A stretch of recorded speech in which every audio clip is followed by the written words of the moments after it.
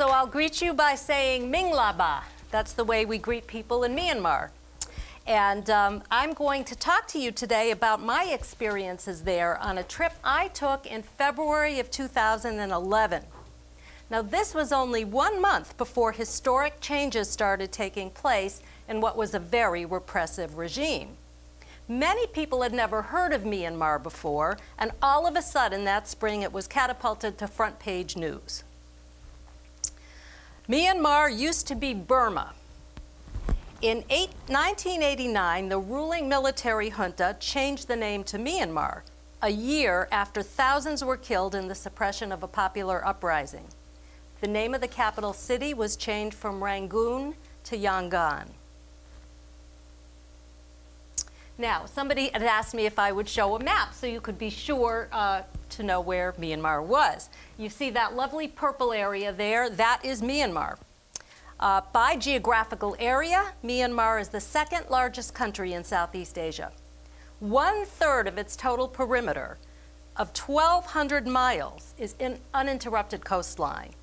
It's bordered by China on the northeast, Laos on the east, Thailand to the southwest, Bangladesh on the west, India to the northwest, and the Bay of Bengal to the southwest. So Myanmar has loads of neighbors.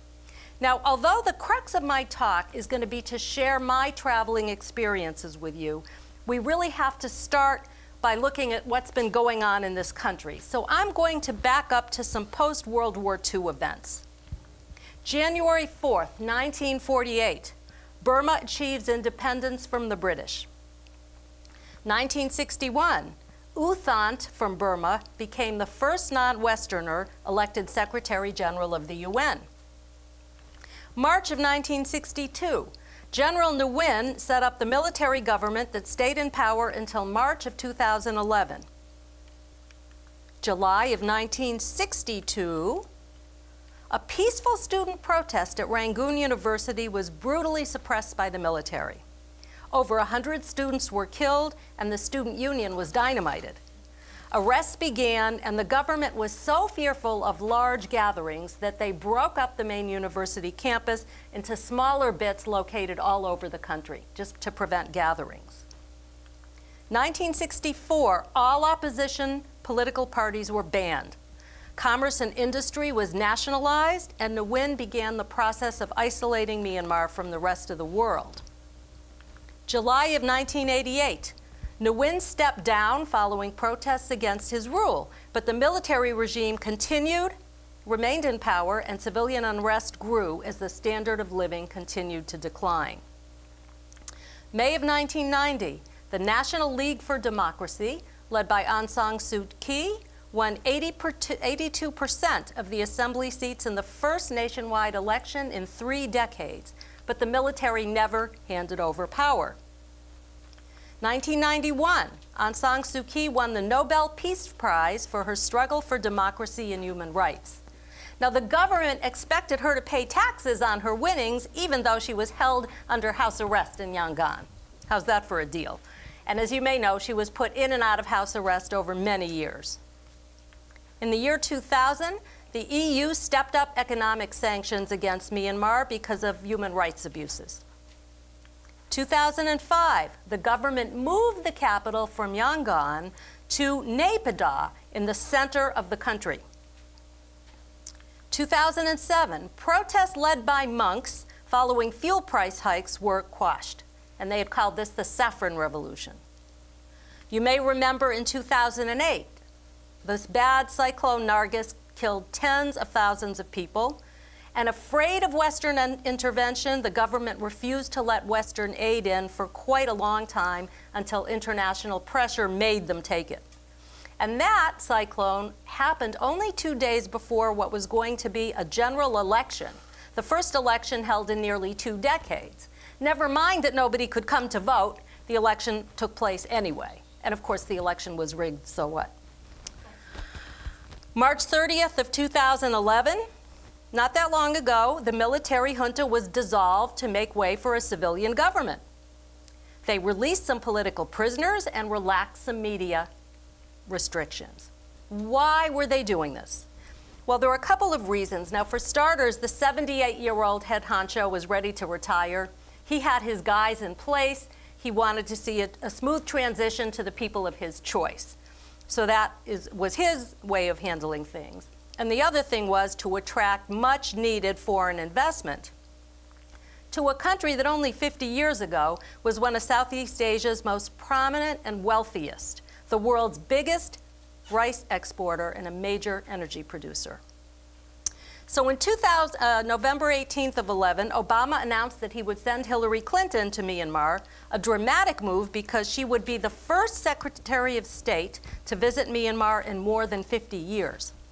So Hillary arrived on November 30th, and Obama's goal was to loosen the ties that the military rulers had with China. China and Myanmar were having some tensions. Uh, and China was um, the second biggest trading partner for Myanmar after Thailand. And Beijing had poured billions of dollars of investment into Myanmar to operate mines, extract timber, build oil and gas pipelines. But the U.S. wanted to capitalize on what was becoming a very strained relationship. Now, Myanmar decided they were going to suspend work on a hydroelectric dam project that was backed by China because China intended to consume most of the energy generated by it, giving nothing to the people of Myanmar. So resentment was happening. Myanmar said, nope, get out of here. And Obama says, good time for us to sort of get in there, get comfortable, and loosen those ties with China. January of 2012, the U.S. restored full diplomatic relations. Now, mind you, relations were never completely severed as they were with, with Iran, Cuba, and North Korea, but they were downgraded after the 1990 elections when we withdrew our ambassador. So in April, Aung San Suu Kyi um, and members of her party were finally allowed to run for office. And she took her place in Parliament on May 2nd, and she gained the respect that she had so long deserved. But she warned at this point of lifting, she warned Hillary of lifting sanctions completely. She wanted the government to be on its toes, um, and she, she just wanted to go easy on it and not move full forward. So Hillary took her advice and said that sanctions would be, remain in place as a sort of an insurance policy, though she did emphasize that our goal was to move ahead and expand business and investment opportunities. So in May, Obama said, okay for American businesses to go in and make investments in Myanmar. But they wouldn't be allowed, however, to work with the country's armed forces or corporations closely linked to them. And they have to ensure that they aren't supporting anything or anyone repressing political rights or participating in ethnic conflicts, two major concerns of human rights groups. Now, last summer, Hillary met with the president of Myanmar, Thein Sein, in Cambodia, in Siem Reap, Cambodia, and she really cheered him on because this former military uh, junta general has made great strides in the last 15 months. He's begun to liberalize Myanmar's economy, released 670 political prisoners at least, permitted more media freedom, and allowed the formation of political parties and held peace talks with some of the rebels. And there are still issues with human rights and warring tribes, and uh, there's a, a, a, province that um, where the Muslims are a minority and battling with Buddhists, and there are still human rights concerns, but things overall are getting much better. So we finally announced the easing of um, a ban on imports to Myanmar to reward its progress that it's made toward democracy and the import ban had been the main plank of remaining American sanctions against the country. So uh, just recently, last month, Aung San Suu Kyi came to visit and she got the Congressional Gold Medal of Honor, our highest award. So the biggest question that still remains for some people and certainly remained when I went, to go or not to go. So back to when I went, before the beginning of any re reform, that was, you know, what do you do? It, it poses a dilemma. Uh, should the enthusiastic traveler refuse to go there on principle? Does visiting the country and spending my dollars there so sh show support for the last reigning military junta and now its remnants? And my answer to that would be an emphatic no. Now, granted, you have to pay some small entry fees to, to some tourist sites and a $10 airport departure tax that went to the government. But overall, our money went to local people and businesses, including our domestic flights on private airlines. We did not travel with government airlines. Now, I went with an Australian adventure company whose philosophy is to make positive contribution toward those businesses and organizations that have social or environmental roles in the local community. And I also, as a travel agent, work with a few American tour companies who have that same philosophy. And then you have to think about it this way, too. If we don't go over and talk to them, they won't know what we're like, they won't know how we live, and they won't know anything else. So I think it's extremely important. Now, we as travelers back then uh, were not affected by the political climate at all. We knew of the government repressions, of course, um, and the way they would treat their political dissidents, but we never felt any atmosphere of repression at all, and nor were we restricted in moving about the country. Some countries you go to, if you go to Tibet, the Chinese tell you where to go and when to eat, and it's all very regulated. This was not like that at all. Our guide did tell us, interestingly, there were two very good things that the regime has accomplished, which both had an effect on us. First, learning English in primary school is mandatory, so people did pretty well speak English. And the other thing is that the government really eradicated crime, albeit through terror. You know, if you know that you're going to be, people were afraid to commit any kind of a petty offense for being thrown in jail, which leaves the streets very safe. So as a traveler, you, you know, people will speak English and you don't have to feel the least bit unsafe. Now, I can recall two particular instances when we noticed signs of the ruling military. We went up to the top of Mandalay Hill for a view of the city. And in one direction, there was this enormous prison. Now, why would you have an enormous prison in a country with no crime? Of course, for the political prisoners. And in Yangon, we went up to the sixth floor of our hotel and to get great views of the city. And from there, we detected these empty army barracks all over the place. Empty now that the government had moved out of Yangon into the center of the country to Naypyidaw. And also what we took to be an abandoned parliament building. Now, the generals in about 2006 built their capital in secret and announced it to the public once it was a fait accompli. And I would like to read to you this quote uh, from a newspaper. The nine hour drive north of the former capital, Yangon, looks like nothing else in this impoverished country, where one in three children is malnourished and travelers appreciate potholed pavement because many roads are nothing more than dirt tracks. It would be easy to write off the move to Naypyidaw as a caprice of the secretive generals who had been in power for 46 years. But the transfer of the entire bureaucracy to this relatively remote location, where malaria is still endemic and cell phones do not work, has drained the country's finances and widened the gulf between rulers and the ruled. Even the most charitable observers of Myanmar's junta portray themselves as out of touch now they're literally out of sight. The generals live and work in a guarded zone of Naypyidaw that is off limits to all but senior officers. Now, when we asked a, a citizen of Myanmar about the government, what did they think of the government?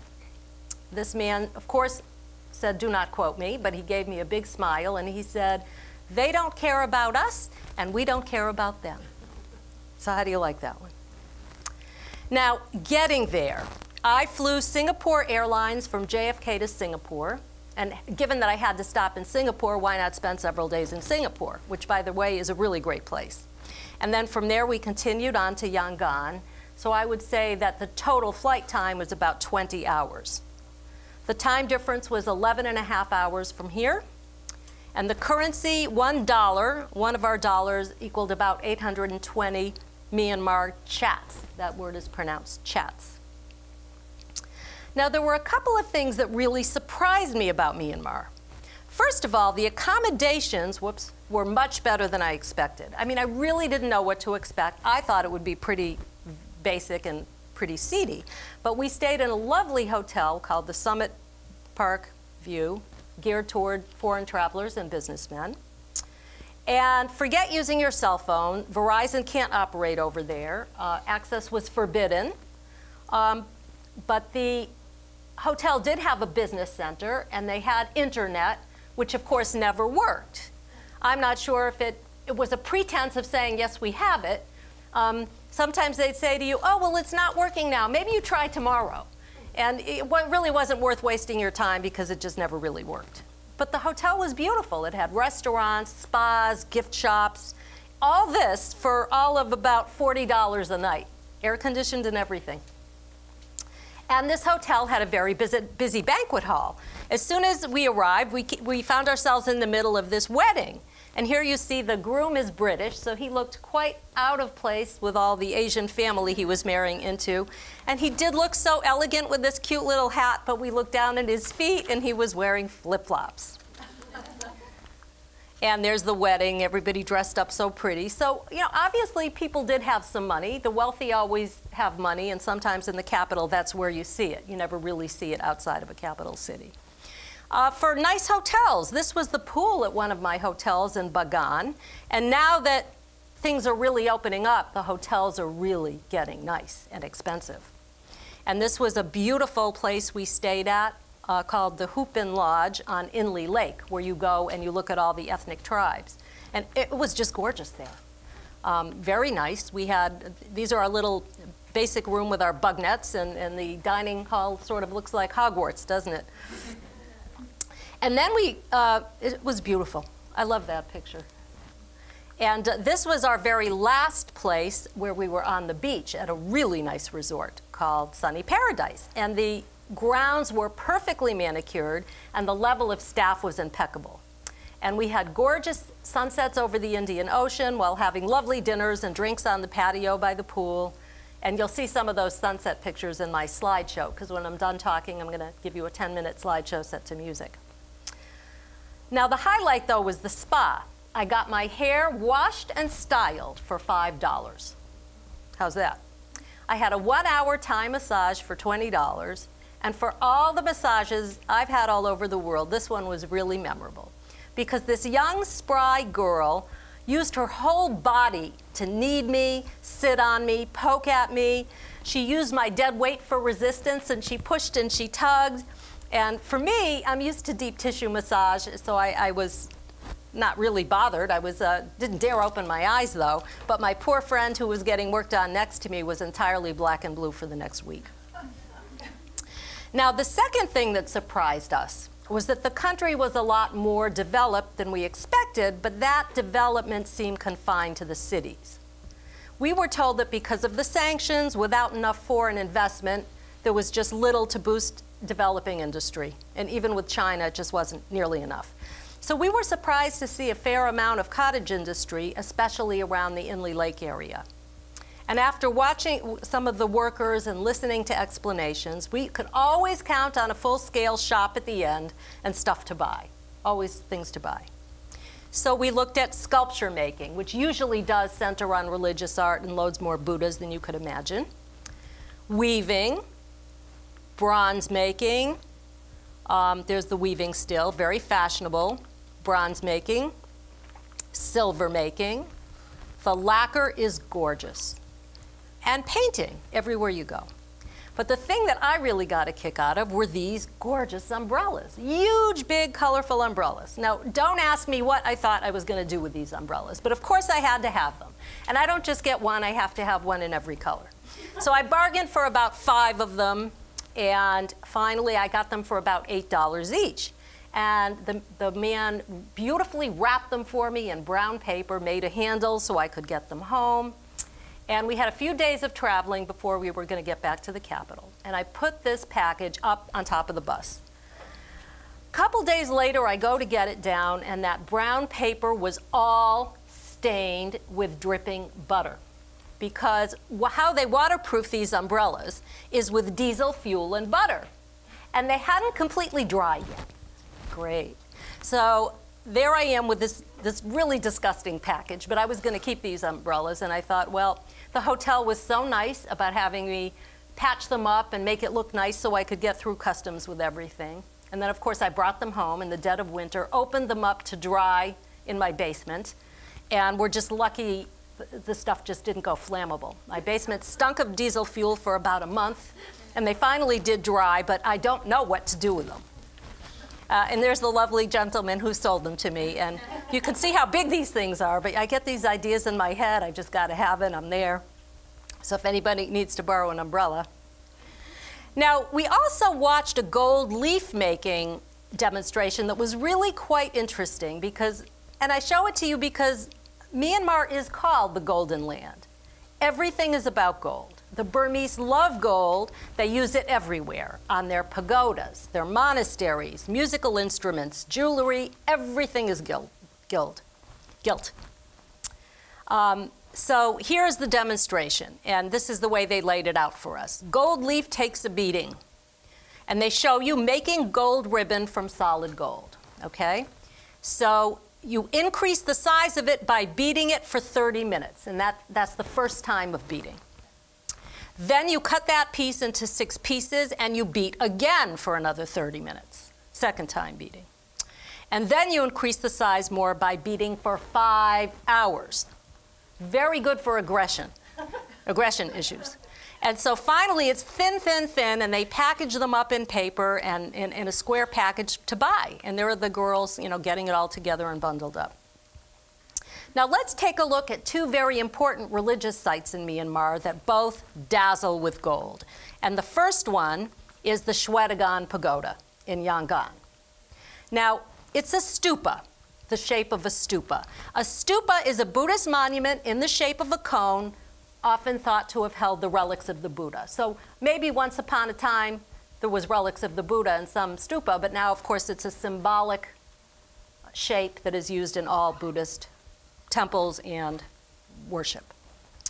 Now, that one big stupa that you saw is really unbelievable, um, but it's, it's, it's, I'll just back up 80%, 89% of the people in Myanmar are Buddhist.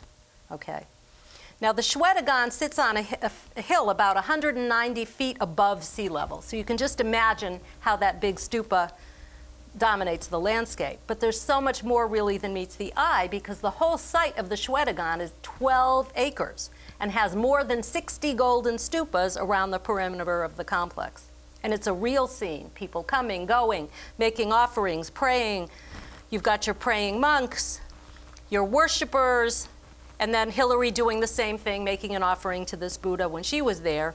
But what really got to me, I thought I'd seen it all, were the Buddhas with flashing neon light halos. You think you've seen it all. And there is that beautiful stupa at night as seen from our hotel floor. It was very useful up there. And that big orb on top, it's studded with 1,800 carats of diamonds, real diamonds. So the next golden site that's very important is this country is a place called Golden Rock. And it sits way up on top of a mountain that I can't even pronounce. But as you know, I mean, you, if you just looks like if you took one breath and blew, it would just come over. And legend has it that a hermit bought, brought the king a hair from the Buddha, and for thanks he said, "Oh, just keep it under a rock that's in the shape of my head," or something like that. But as true with any pilgrimage sites you go to anywhere, it's the difficulty of making the journey to get there that's important. The process of reaching the final destination.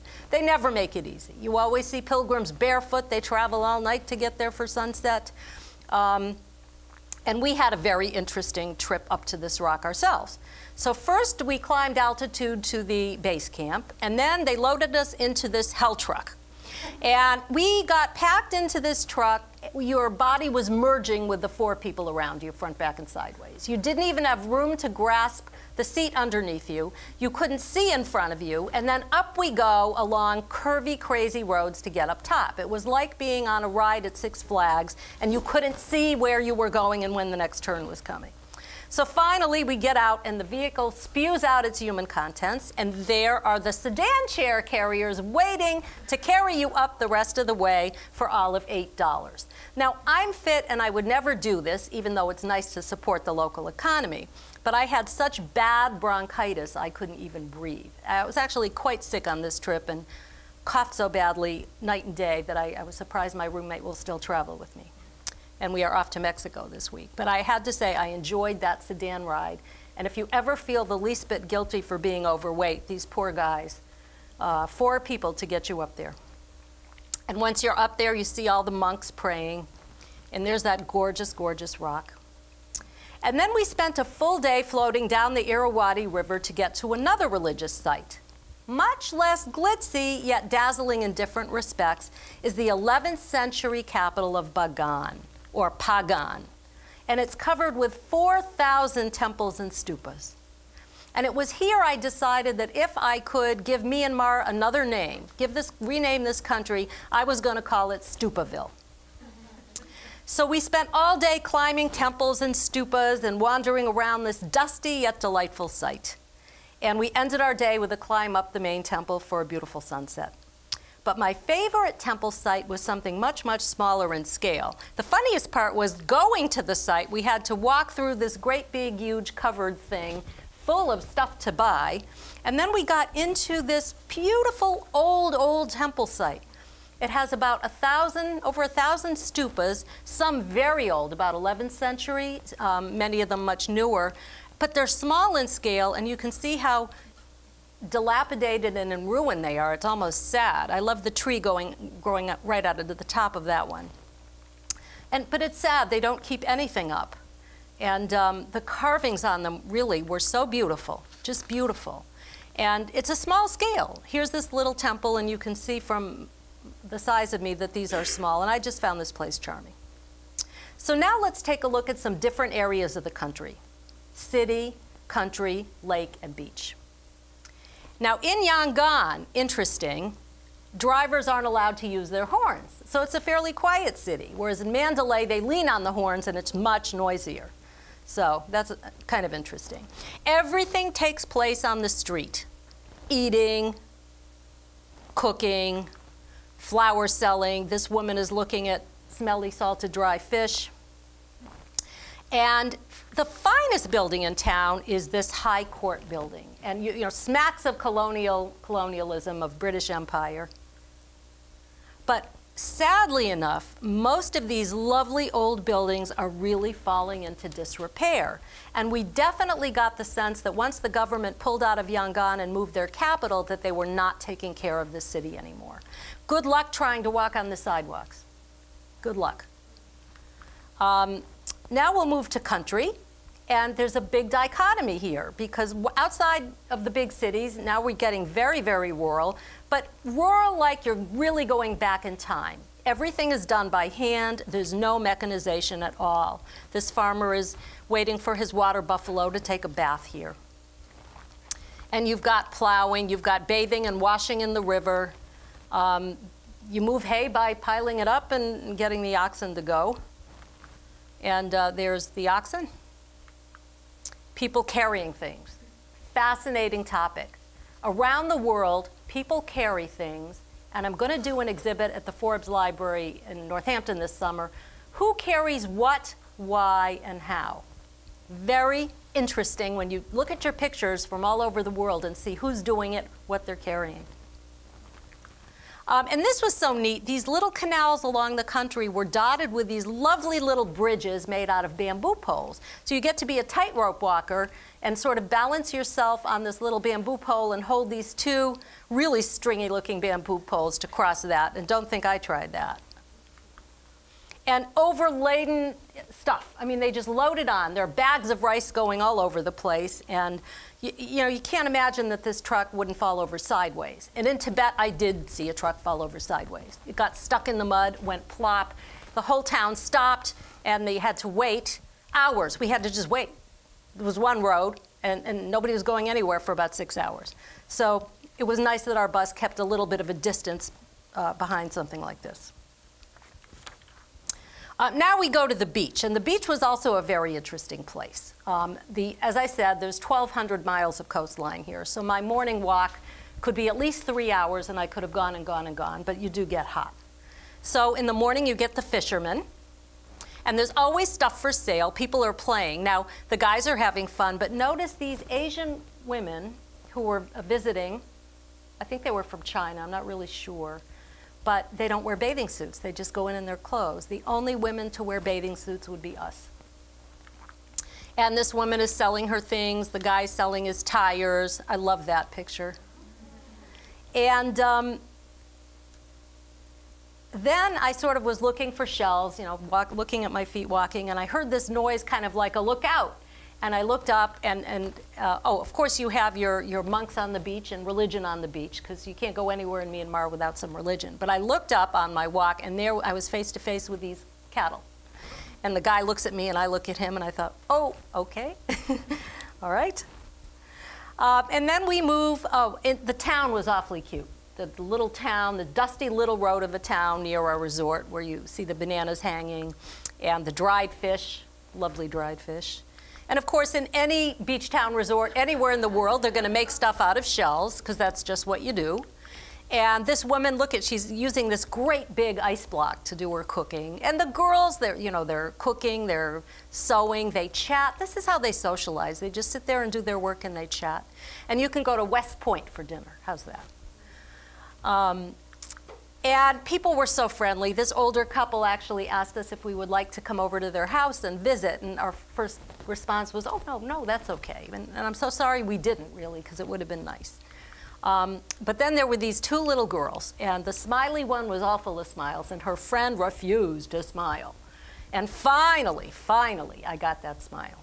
Now you're going to wonder what's on their faces, and I'll, I'll, tell you a little bit about that uh, a little later on, too. But now we're going to move to the lakes. And outside of Mandalay, in the town of Amarapura, uh, is this very famous teakwood bridge, a pedestrian bridge over 200 years old 1,300 feet long, and it's got more than a 1,000 teak posts. And we took canoes to, uh, to get sunset views of this. It was just beautiful. And the bridge is full of bicycles, strollers, monks walking along. And of course, for your pictures, you really have to like time it just right so you get the bicycles and the, the walkers in between the posts so you get the right picture. And it, was just great. Just so beautiful there.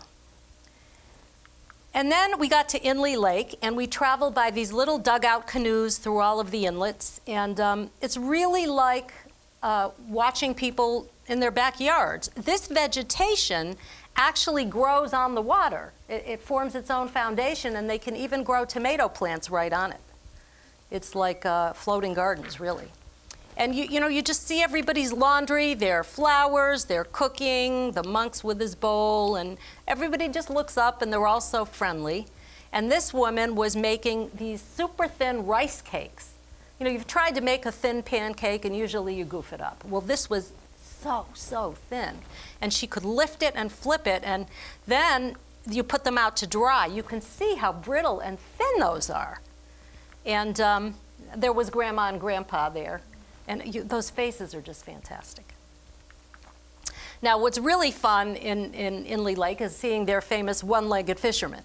Um, that's the way they fish. They row with one leg, and then they drop the basket, the conical basket down, plunk it into the water to get their fish. So um, the lake is shallow and weed infested, and that's what they do. They sort of drop the basket down vertically to catch the fish. Now, then there is a tribe near the Thai border called the Padaung tribe. And they have an interesting custom that is fairly controversial. And you may have heard of the long neck women.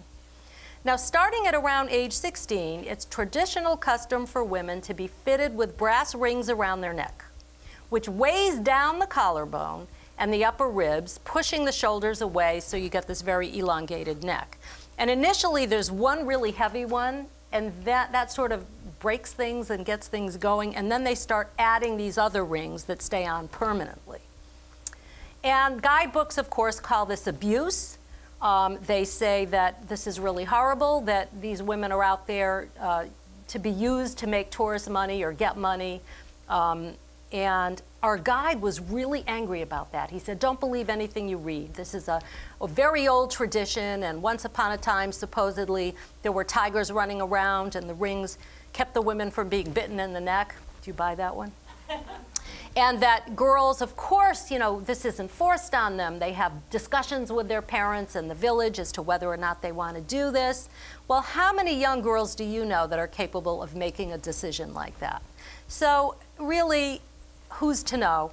Um, but I will say this much. The only place we saw these women was in tourist places where they would pose for pictures, take a little money, and then do a little bit of weaving. So you have to wonder. But it was interesting the way our guide was vehement that this is not something bad, it's tradition, and that they're not forced. So I don't know. But then I want to talk to you about some of the quirky things I noticed in this country. And this is a place called the Jumping Cat Monastery. Because over the years, over the centuries, the monks would have long, boring days, so they would teach cats to jump through hoops. And that's what they do. So they're very happy to give, you know, when tourists come in, they're very happy to give you a little performance. And the cats are very happy, of course, to have a treat. Um, and then, how weird is this? This monk in the same monastery is sitting next to this baby doll. And I couldn't figure that one out at all. They said maybe if you wanted to come and pray for the health of your child or whatever, that baby doll was a substitute for like a real baby. Still sounded weird to me. Bigger is not necessarily better. This is, Buddha is in the town of Bago, and in Bago they even have a pagoda bigger than the Shwedagon in Yangon. But this reclining Buddha measures 180 feet long by 53 feet high and it's painted concrete. And I have to tell you, it's about the ugliest thing I've ever seen. There was nothing aesthetically pleasing about this Buddha. But what was interesting um, is that if you stood in just the right place at just the right lighting, you could watch the Buddha achieve enlightenment. The sun was just there, and I thought, aha.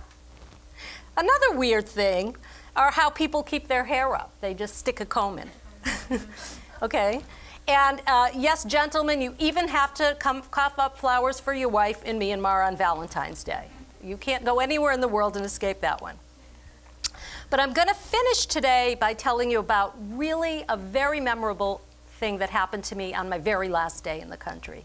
And my friend Margaret and I had the morning to ourselves to wander around before going to the airport.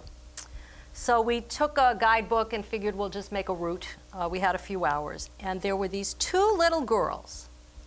And just bright eyed, really sweet. And um, they looked at us, and I think they were trying to decide if they should skip school and follow us around all day, which is sort of what they did. So they started tagging along. And, and I got really like the little one. And believe it or not, they were like 14 and 15 years old. But people are small, and the children often look a lot younger than they are.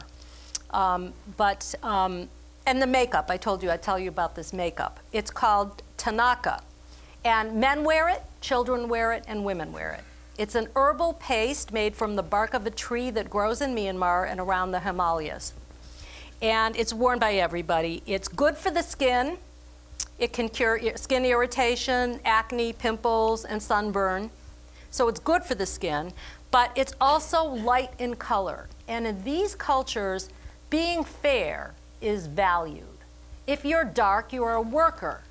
So even in the fields, and you've seen Asian women often cover up. Big hats, long gloves, they cover their faces, they don't want the sun, they don't want to be tanned. So the light color makeup is considered a thing of beauty. So these girls follow us around and we grabbed their hands and had fun. And I wanted to see the Strand Hotel, the old British hotel from 1914. And it was interesting as we got up the steps to the hotel, the girls just knew to stay back. They knew that that wasn't a place that they could go into. They knew. And I took their hands and we brought them in, and they had never seen such luxury in their lives.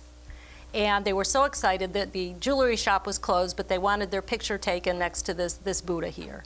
And then we walked around some more and we went to a Hindu temple, and they, they were so having fun with these pictures. And we walked along and we bought them cookies and bracelets and things like that. And finally, we got to the marketplace, and I wanted to buy them each an outfit and the little girl started saying shoes, shoes, and I, I thought, yeah, yeah. There's, they didn't speak English. I thought, yeah, you know, there's loads of shoe places. Yep, and then, but she shows me her feet, and her flip flops were just dead. They were dead. So I had to go buy her a pair of flip flops. And the other girls didn't look too good either, and then they broke as well. And so I bought them flip flops, and the whole thing cost me like $12 for the two outfits and the flip flops. They were so happy. And finally, we had to get a cab and leave. And they just were so excited to jump right in and see where we were going to go next. And I thought the other strange thing, I offered them a Coke. And they looked at that Coke like they'd never had one and didn't know what it was or if it would be okay. Uh, but we, we encouraged them. But, you know, we left them there. We had to get in the cab, and we gave them the biggest hugs. And my biggest regret was not giving them a, a card so that they would know who I was and be able to find me, because I really think of those little girls. I, if if anyone has questions, I can try to answer them. I can't promise that I can. But um, it was a delightful place to go. The people were very friendly, and we had a lovely time. So you've been to other places in Asia? Yes. And um, so I'm interested, what is there unique about the food from that country compared to other Asian? It's very Southeast Asian food. Um, rice no all the time. One unique thing, just, I don't focus on food so much. don't? I don't. But rice is every meal, three times a day. And no, but I, I was proud of myself. I didn't eat, I, I ate none. I refused. Um, no, great seafood, fresh obviously, great seafood. You know, they eat so nicely. Um, small portions of really good food, great spices. A lot of Chinese food too, which I don't tend to like, but um, their food's fabulous. But I, I can't say there was anything different about it, say, than some of the other Southeast Mm. Asian countries. Yeah. Um, did the schools there cost money to go to? Um, I don't think so. Um, what I found in a lot of these countries, although I can't swear by it, if education is free, often they still need to buy uniforms and books and things, which prohibit a lot of people from really actually going. So it's never really free. And they, you know, obviously they do have a university, and um, but it's it's great that they do teach them English young. Yeah. Although my little girls didn't speak any, I'll tell you that at the end. I'm surprised that you were allowed to take pictures of the monks especially. They Right. did not mind. They didn't They mind. don't mind. Um, I've never found any monks to mind. Some of the monasteries I've been in don't let you take pictures inside. I remember in um, Sikkim in India, you know, certain ones wouldn't let you take them. But mostly they don't mind at all if you're not bothering them. When were you there? Ah, you missed the talk. It was uh, just a month before the election and all these reforms started to take place. So I went to the old Myanmar, and a month later, all these things started to happen. So that's what was really interesting. Who knew? So I was all prepared. You know, I, I do talks on my travels, but then this became a whole different ballgame because it was all of a sudden different. I mean, nobody heard of Myanmar not that long ago. Yeah. Did you, did you see, uh, or did you notice that uh, any of the monks were on the internet and uh, No, uh, Uh, forget the internet. It doesn't work there. I mean, they're just. Doesn't work at all? Uh, well, they pretend. They the pretend. very oriented towards the internet and uh, playing video games. Yeah, um, in terms of any communication anyway, no. And no, I didn't see that. Not here, no. But I have been in countries where, you know, monks are real sort of riding around on motor- motorcycles and Yeah. doing things anybody does. But I never saw that, no. Yes, you mentioned having bronchitis while you were there. I was really sick. Yeah, did you get treatment from any other facilities? Or No, I usually beg drugs off of all the people in my group. Right. and uh, you- know I, I was really sick. Um, Do you know how their facilities are, if anything? Good question, I don't. And once you get out of the cities, I'm sure there aren't any anyway. I feel like they wouldn't be. Um, I never did that, no. But it's interesting. This happens to me on occasion. And it, it's such bad coughing that I'm afraid I'm going to break a rib. And it, it never actually occurred to me to go anywhere for that. Yeah. I just never did. no. Um, um, you had a question? Another one? Oh yeah, um, like I went to China and like there was a lot of bartering and stuff like that. Is it like that where you went to? There's like. Yep, they'll barter and they'll bargain. I was just thinking. Yep, oh yeah, all those countries, yep. What's the population of the country? Oh goodness, I don't know. I don't know. And are they still called Burmese, the people? Yes, yes. The Bamar people are called Burmese, and that's the majority. But I did prepare for a talk on Madagascar, and they have 20 million people. Myanmar, I don't know. But it's, it's, again, the second largest country in Southeast Asia. It's a big country area-wise. But I would, I don't know. Um, but it's so, it's so amazing from the city to the country. It's like a whole nother deal. So it's a fledgling democracy. We'll see. Time will tell. They're trying. They need foreign money. I mean, they used to be the biggest rice producer in Southeast Asia, and they got to where they actually had to uh, import and still didn't get enough. I mean, the, the, they, they were run to the ground. They were a very prosperous country that was run to the ground. So we'll see. It's, this is all new stuff. Um, and a lot of human rights people and a lot of skeptics really don't buy any of it and aren't sure they'll ever do enough too quickly. But it's a move in the right direction, and they're being supported. Yep. How did you travel? Did you have In a bus, we, we did have a guide. We also had a pretty decent bus, and we went all over the place. All over the place. So you picked, the- you picked the tour or? I did, an Australian tour company. There were about 14 of us, maybe. Um, some British, some, uh, a couple Australians, mostly British. I was the only American. Do we have an embassy there, an American embassy? I'm sorry. Is the- there an American embassy there? oh, no, there wasn't. There were no relations. Now there is, or? we are starting to send somebody over there. Whether or not they actually have an embassy, you know, as of last month or so, I, I don't know what they've got going. Uh, but, but I don't know. That's interesting. If we're going to have diplomatic ties, then I guess we'll have to build one. That was another neat thing about Madagascar. We built this huge American embassy, huge. And then they had this big um, economic and bad downturn. You know, they sort of go through periods of, of rulers and then no government before the next thing, and it's a bad time. So 2009 was a very bad time. And no sooner did we build this big, huge em- embassy, it's empty. I mean, stuff, stuff is weird around the world. But, you know, we'll see. I mean, they're, they're wonderful people. And it's a fun place to go. So as an American, despite the fact that no diplomatic relations, were you given a hard time to get? Interestingly enough, and I should say this, I've never had an easier time getting a visa. I thought that was going to be a total pain. It was only $20, and it was easy to get. Now, I'm very methodical. I like to get stuff done. And I learned my lesson. You're only really supposed to apply for visas about three months before you go. And good thing I looked at it when it came back to me because, you know, it's good for so many days from when you apply. And of course, the visa wasn't lasting through my entire trip. The guy didn't read my paperwork or didn't care, and I had to reapply for a new visa. Forget the $20, it's the FedEx both ways that can kill you. So I, now I know better. Live and learn. But it was a very easy process. Um, I've had interesting visas. Uh, I remember going to Libya. It was Gaddafi, like one day he'd give them out and then the next day he wouldn't. And you could sign up for a trip and pay for a trip and then find out you weren't getting your visa. Right after I got in, people couldn't get in. And, and it was just what he felt like. But you know, I'm so glad I did the things I did, and I'm so glad I went to Syria when I did. I think my biggest regret was I never got to Iran before 9/11, because I know loads of people that loved it there, and um, I still would like to go, but it's just not the time to go. And my husband says he won't pay for it anyways. Loads of great places to go. You are a travel agent? I am. Which, I have my own Great Dane Travel, uh, affiliated with a company out of Connecticut. I don't do a lot, but I do clients who like to go to exotic places. Um, I also am getting more into my photography and speaking too. So doing a little of everything. But I, you know, I love to travel and I'm going to do it anyway.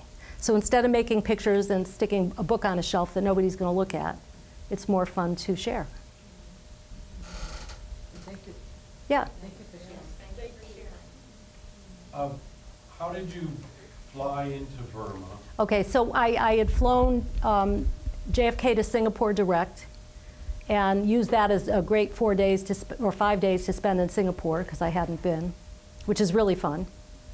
And then on to Yangon from there, Singapore Air. airport in? It was okay. Yangon, Is it It was fine. like 1930 or? No, it was nice. I'm telling you, it was nice. Oh. It was nice. Yeah. And in fact, um, in Singapore, the orchid gardens are unbelievable. So I have some pictures out here. I'm actually doing an exhibit at the Cooley Dickinson in December, and I've got a long corridor. And my thing is faces of people from around the world. So I'm going to do a wall of faces and then a wall of flowers, international faces and flowers. So I encourage you to come look at my things, and and uh, that's that. So Thank you for coming out on this crummy night.